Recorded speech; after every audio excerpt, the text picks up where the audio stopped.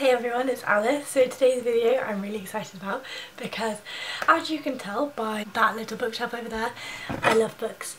I love books, I do, and this one's getting a wee bit full because I've had to start stacking books in front of all my other books because I have no space. And as you might have guessed, well not guessed, as you might have noticed, there's normally a desk here there's no longer a desk here. So like three days ago, well no, it's been building up for a while. I was like, okay, now I'm gonna I'm gonna buy a bookshelf in summer and like rearrange all my books and everything. And then I like told my mum about it and she was like, well, why aren't you just doing it now? And I was like, well, you know, like I'm going back to uni in like, you know, a couple days and it's probably just not the right time. Uh, long story short, we then bought a bookshelf bookcase and it arrived today and I'm about to build it. And so it's the Billy bookcase from Ikea and it's this is the Billy bookcase but the other one is over twice the size. Um, so I definitely don't have enough books to fill it. But yeah, so my auntie came and took my desk and some spare boxes I had and my chair, so they're gone and there's a big empty space behind me where I'm going to build a bookshelf. The only issue is it might be a bit of a struggle to get it up there because it fits in my room. The measurements fit with three centimetres to spare, so it's going to be a bit of a squeeze. That is what I'm doing today, building a bookshelf and bookcase, not bookshelf, bookcase. Rearranging this and the thing that will be there. Ignore the wardrobe. Over here I have this like display case with my TV on top and that has loads of DVDs in it. What I'm going to do is move them onto a bookshelf and then I've got these big boxes that fit into the storage holes and I'm going to fill them with all the stuff that used to be in my desk. So I thought now, thinking it through. So um, I haven't been able to bring up the bulk of the bookcase because uh, as strong as I am, I need two people. So I'm waiting for mum to help me with that. But yeah, so in the meantime, I'm going to put together my boxes and do some organising. You haven't seen my face before. Hey, my name's Alice. Really like it if you could like and subscribe. That would be great. Without further ado, enjoy the show.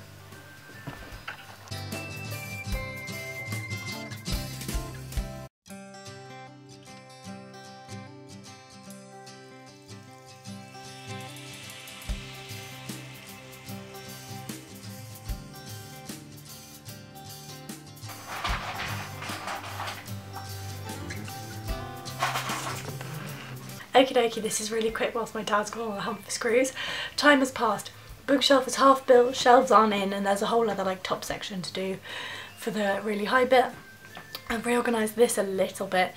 I've got my DVDs along the along the how do I gesture to this? I've got my DVDs along the bottom, some DVDs there, a Shakespeare book there, Xbox games there, Update, so it's now 7 o'clock. That took us like 4 hours.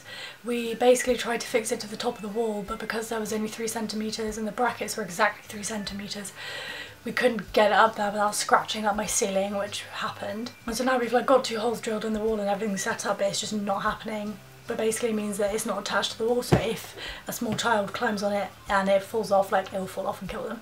So that's a bit of a dilemma but I'm just, I've got books all over the floor and I'm meant to be at the pub with my mum, but I'm not, and so I'm going to meet her there and I'm just going to stack books. I've put the shelves in. This is this is bookshelf now.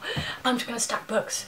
I'll show you like my floor situation. So they're all on the floor. They're all on the floor. They're all stacks of books, but they're like actual stacks of books and then I've still got books stacked there and books up there. So it's definitely a work in progress but I really really want to get some done. Like I don't want to have to come home to like books all over my floor so I'm just to put some country music on and go at it and have have a go. The only thing I know that I'm to do is I'm to split it not specifically by categories but I'll have a separate shelf for my contemporary books um, but all of the others are just going to probably merge together. I might organise some by like you know like middle grade and then just the rest of the YA. I'm not going to separate like fantasy and sci-fi because sometimes they confuse me but that's the plan so far. Enjoy the show.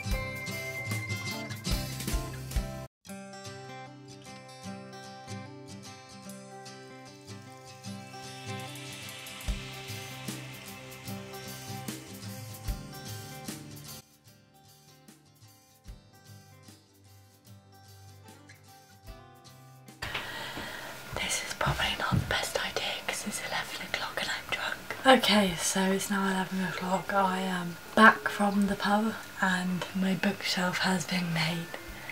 My mum came home and I was like, please give me another half an hour. I need to, I need to sort this out. So I've sorted out the bookshelf. I'll show like an overview So up here I've got the books that like I don't really care about, like books I loved when I was younger but I don't really care about now. Here are my middle grade books. So I've got my Percy Jackson, my Cherub, my Harry Potter and then here I've got my Sarah J Maas, my Red Queen series, my Cassandra Clare books. Here I've got more Cassandra Clare books, Maria V. I've got my Poison Study books, so the Chronicles of Ixia books. And then here I've got my contemporary shelf with all my contemporary books and Milk and Honey, which is a poetry book.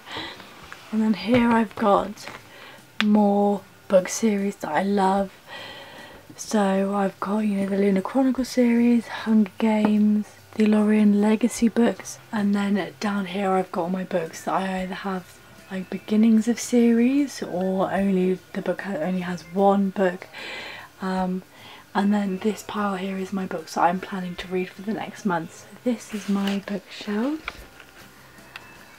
But that is me for today. I love you all so much. I hope you had an amazing day and I will see you hopefully next Monday with another video. I just want to say Emily, Annie, Isabel. I love you all so much I can't wait to see you next week.